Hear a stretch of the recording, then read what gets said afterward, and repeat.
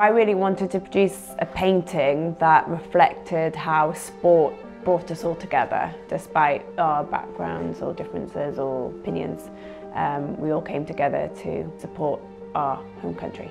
I think it, and especially obviously because of COVID and not having support out there with the athletes, they kind of need to feel like they have a united front at home supporting them. They're still, you know, a bit of uncertainty about what's going to happen and how it's going to be run. Um, so I think, you know, having this to, you know, kind of spur me on a bit, inspire me a bit towards hopefully a good result from uh, from the summer. So yeah, uh, I'm looking forward to the reveal.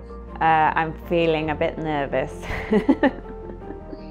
so I used oil on linen. I uh, kind of built up the layers over time, over the month, so that I can kind of work with glazes and um, build up the layers needed really to create the light needed around it. Da-da! Ah, that's awesome, that's really amazing, yeah. Really amazing. Basically, it's showing um, that like a crowd all together, all united, um, after such a fractured year, um, all coming together to support Team GB.